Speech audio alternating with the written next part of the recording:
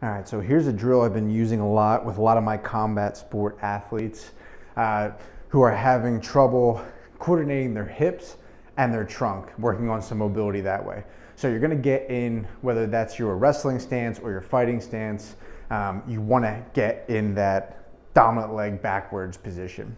We're gonna take the band, hold with some tension. We're starting by engaging our shoulder blades, squeezing them together and sinking them into uh, our pockets maintain a little bit of tension here, and I'm going to hinge forward very slightly. And keeping that tension, now I'm going to rotate up and back, going the other way.